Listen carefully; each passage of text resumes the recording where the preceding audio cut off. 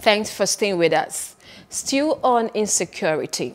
Men of the Benue State Police Command outfit Operation Zenda, headed by Commander Justin Geberidia, arrived at Salvation Town in Katsina Ala, where they uncovered another mass grave of victims.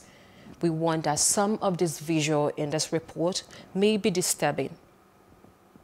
The two suspects, Onduse Tesi, alias Bob Sese, 23 years, and David Okashima, alias Cash Money, who is 22 years, were arrested in Osun State after both fled following the killings, kidnapping, and armed robbery activities carried out in Katsina local government area of Benue State in less than three years. The two suspects who were secondary school dropouts are members of a 10-man criminal syndicate who took men of Operation Zenda around to uncover shallow graves, both in dry and abandoned wells, where they kept their dead victims to conceal their nefarious acts. Among the six dead decomposing bodies uncovered so far were three males and three females, including their own wives, killed in January and April this year. For year na three, one dead down. That's how many? That is four. So of all the people I don't kill so far, how many so far?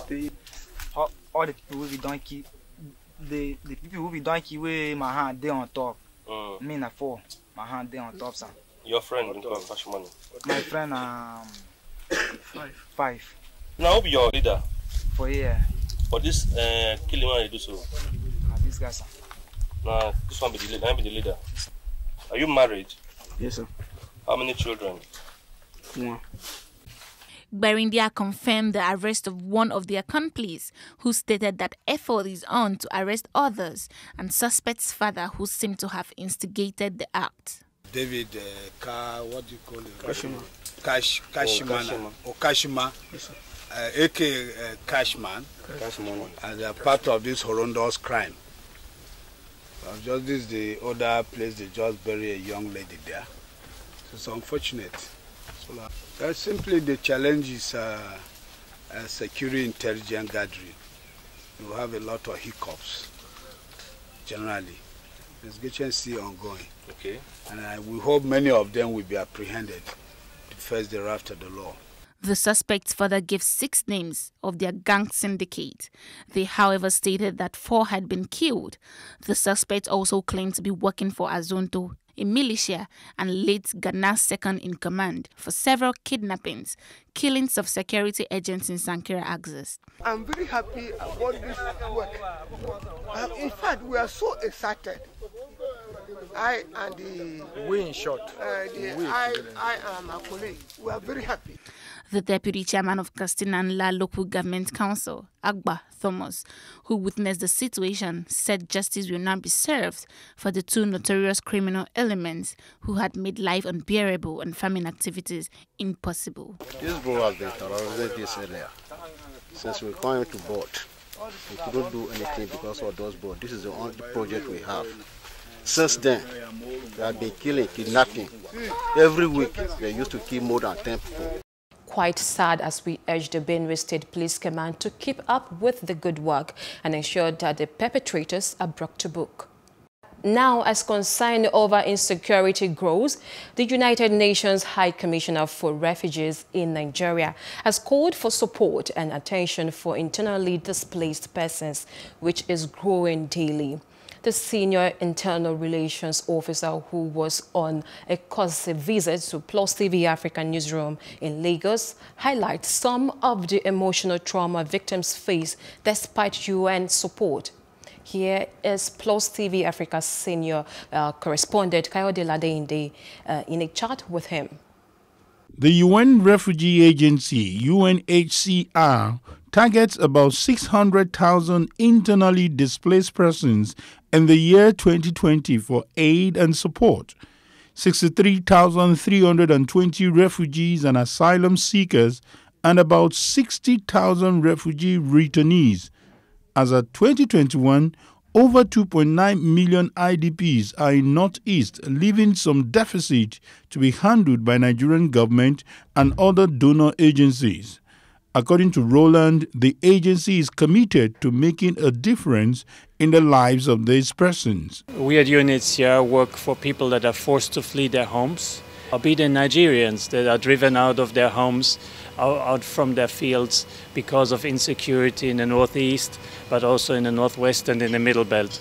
We try to make a difference in their lives. We try to protect them and support them and help them uh, restart their lives in a safe environment.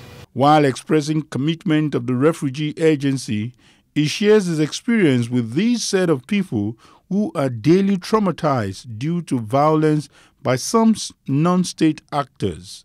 Internal displacement is really a, a, serious and growing issue in Nigeria, and it's, it's really worrying. Uh, it's worrying for each and every man, woman, and child that uh, loses his or her home and that has to find a, a, different place to stay, whose lives are interrupted, disrupted, who may not have a school uh, in the first weeks or months, who may not have access to a field, who becomes dependent on humanitarian aid. Yes, it's a growing, growing phenomenon, unfortunately, uh, driven by violence and by other conflicts, and we estimate that about 2.9 million uh, Nigerians are internally displaced in your nice country. He also condemns attacks on these vulnerable demography, which in his view must be protected always. For the refugees, UNHCR is working to, to make sure they find a safe place away from the border. So if something happens in, in the area of the border, they uh, are uh, not uh, touched. So that's why we supported uh, the, the government in Nigeria with uh, the building of four settlements for the Cameroonians in the south. But when it comes to the IDPs uh, in the northeast uh, uh and the northwest, uh, yes, their camps are often uh, attacked and security is not enough. As the internet is still buzzing with comments about Plan B, which has to do with fleeing the country due to increasing incidences of insecurity, the call here is to change the tide by providing adequate security to prevent a worse humanitarian crisis. Kayode Ladeinde, Plus TV Africa. Now, internally displaced persons face double risks every day and they need all the help they can get to be able to survive, which is a call for all to do the needful. Nigerian Maritime Administration and Safety Agency NIMASA says it has completed the Deep Blue project aimed at tackling insecurity within the country's uh, maritime corridors. Director General Nimasa Bashir Jamoh made this known as the agency received the special mission aircraft at the Air Force Air Wing Ikeja. The NIMASA boss arrives the Air Force Air Wing of the local airport Ikeja with his team. He awaits the about to be celebrated project. Minutes later, the much awaited special mission aircraft of the Deep Blue project, otherwise known as the Integrated National Security and Waterways Protection Infrastructure, is received and inspected by NIMASA. After the inspection comes the unveiling of the aircraft.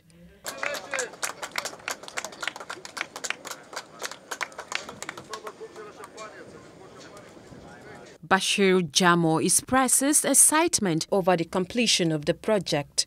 So far, so good. This is the last piece, Eze. This is my happiest moment in this my assignment. When we came in, the assignment given to us by the Honorable Minister at the inauguration of the board was one assignment. Go and make sure that you complete the Deep Blue project. And today we are here to receive the final piece for this project. I am given four-year term. In less than 13 months, we have completed the task. So we'll go back to our principal and ask for another task. The menace of maritime insecurity is an age-long challenge in the industry, hence the timeliness of the special aircraft. October, we had 10 attacks within our exclusive economic zones. In January, we recorded only one. February, we recorded zero. March, we recorded one. We are yet to record in April. And the remaining is, the remaining is going to be unveiled during the commissioning on 21st of this month. We are now taking Nigeria to another level in the international community. We are changing the narratives as far as the issue of maritime domain is concerned. The high-tech assets under the Deep Blue project will not only deal with piracy and armed robbery in the territorial waters frontally, but also respond to the increasing sophistication of maritime crimes exclusive economic zone up to the Gulf of Guinea. Big ups for NIMASA for such an effort to tackle insecurity surrounding maritime sector. The Blue project is funded by the Ministry of Transportation and has already deployed its integrated maritime security infrastructure. To Ekiti State now, the non-academic staff of Federal University Oye-Ekiti marched in support of the decision of the Governing Council of the institution to terminate the appointment of a former registrar of the institution. The union leaders said this at the end of a congress of the union held in the main auditorium hall of Federal University Oye-Ekiti. Details in this report. Non-academic staff of the Federal University, Oye Ekiti, jubilate over the suspension of the former registrar of the institution, Mr. Odusanya Olatunbosun, and the former bursar of the institution, Bolatito Akonde. They are also calling on the governing council of the school to terminate Odusanya's appointment.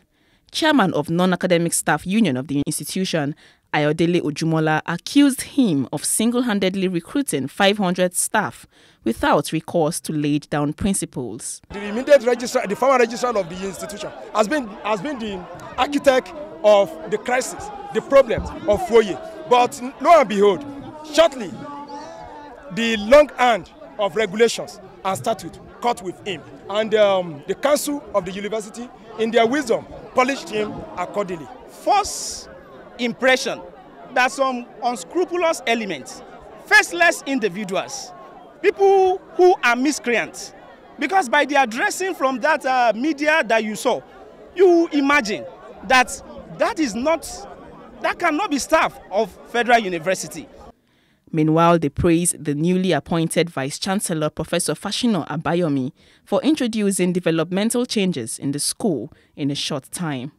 When Plus TV Africa contacted the suspended bursar of the institution, Bolatito Akonde, to hear her side of the story, she denied all allegations of financial recklessness. We have tried our best possible to ensure proper management and application of the university lane resources. Looking at both our campuses, Oye and Ikole, the rate of development in the shortest time is overwhelming. Moreover, these allegations ought to have been directed to the former Vice Chancellor because I'm not the approving officer and I couldn't have made payments without approval. The management of the Federal University, Oye Ekiti, has distanced itself from the ordeal of the former registrar of the institution and its former bursar. They insist that the said termination and suspension moves were taken by the governing council after petitions were written by some staff of the institution. And that's a wrap now, but still, let's remind you to follow us on Plus TV Africa on Facebook, Twitter, and on Instagram, and just subscribe to our YouTube channel at Plus TV Africa. I'm Jacinta Obiukwu. Thanks for watching.